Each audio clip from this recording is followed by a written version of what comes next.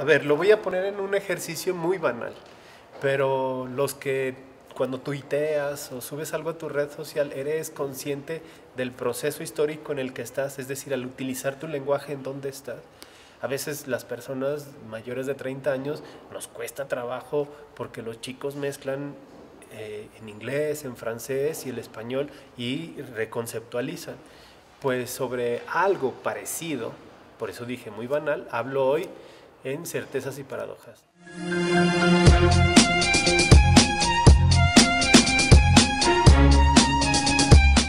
Mariana Osuna, hoy estás presenta, vienes a, comentar La forma de las ideas, un libro que, que sale con, trama y la Universidad Autónoma Nacional Autónoma de México y me planteo primero la, desde esta idea, lo que tú revisas es un periodo de transición 18-19 y está en parte este problema del que hablaba hoy.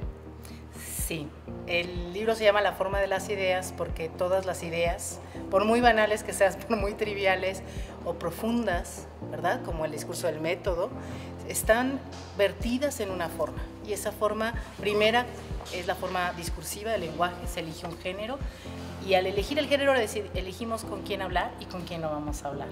Al elegir el discurso y la lengua elegimos el registro y con quién vamos a hablar. Yo trabajo géneros como el diálogo y la carta, géneros que eran el Twitter y el Facebook del siglo XIX y del siglo XVIII, es decir, las formas más eficientes en que se comunicaban los individuos. Estos formatos eh, de géneros textuales existían, eran muy famosos y además tenían una ventaja, eran pragmáticos y oralizables. Entonces, pues el diálogo lo que podía hacer era que tú lees el textito y lo vamos a oralizar y tú haces de militar y yo hago de aguador y nos divertimos, ¿no? Y además aparece la lengua viva, así como aparece en Twitter y aparece en Facebook, ¿no? Lo que tu libro además comprende es traer un disco con algunos folletos y nos incluyes en la discusión que había.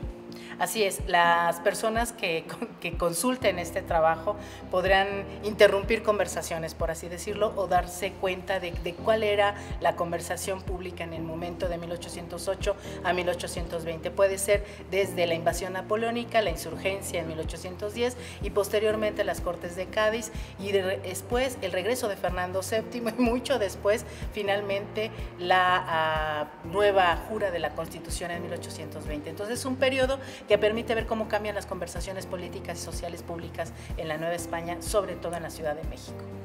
Bien, te agradezco. No, muchas gracias.